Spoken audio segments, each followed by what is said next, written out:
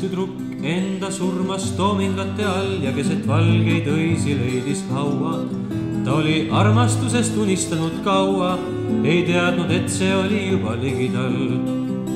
üks poiss end tappis vana kuuri taga, ta oli kaua armastanud asjatult, ei teadnud, et pea oleks talle vastatud ja nii ta suri asja eest teist taga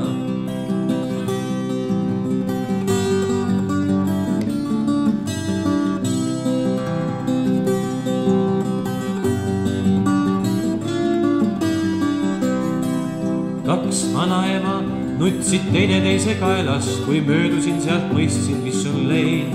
kuid jalus lõhnas valge ristik hein ning helesinine ja vaikne oli taevas. kuid jalus lõhnas valge ristik hein ning helesinine ja vaikne oli taevas